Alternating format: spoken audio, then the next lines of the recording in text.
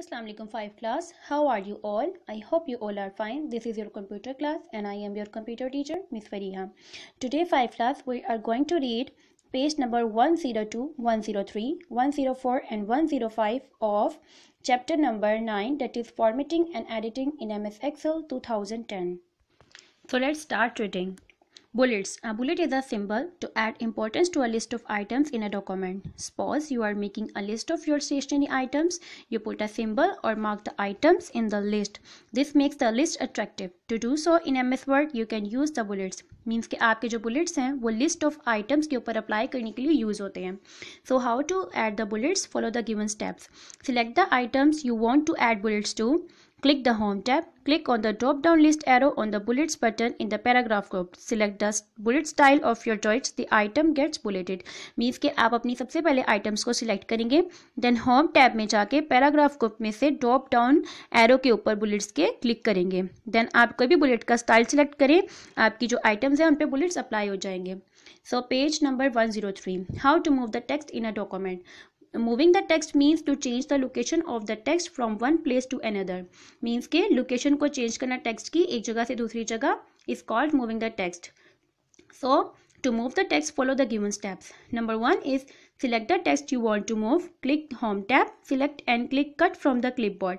Means कि Home tab में जाकर आप clipboard group में से Cut के ऊपर click करेंगे Now turn page number 104. Move the cursor to the place where you want to paste your text. That is the new location. Number 5. Select and click Paste from the clipboard group. The selected text now occupies a new location as it has been moved out of its previous place. Means कि आप अपने cursor को वहाँ place करेंगे जहाँ पर आप इसे पेस्ट करना चाहते हैं देन क्लिप क्लिपबोर्ड ग्रुप में से पेस्ट सिलेक्ट करेंगे, आपका जो टेक्स्ट है वो वहाँ मूव हो जाएगा।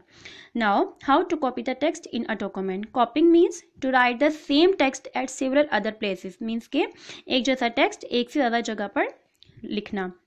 कॉपी करने के लिए आपके जो स्टेप्स हैं number one is select the text you want to copy click home tap click copy from clipboard group यानी कि होम टैब में से आप क्लिपबोर्ड में से आप कॉपी को सिलेक्ट करेंगे।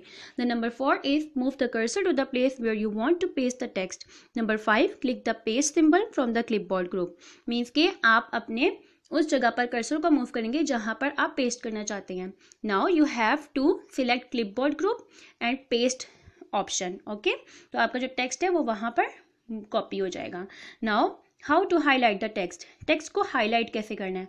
Highlighting means to make a part of the text in a special और different colour okay so it is use to draw the readers attention toward some important points और text mention in the paragraph और text means कि अगर कोई important points हैं तो आप अपनी रीड आप उसको अटेंशन दिलवाने के लिए अपने उस पार्ट को स्पेशल पार्ट को आप उसे डिफरेंट कलर्स के साथ हाईलाइट करते हैं।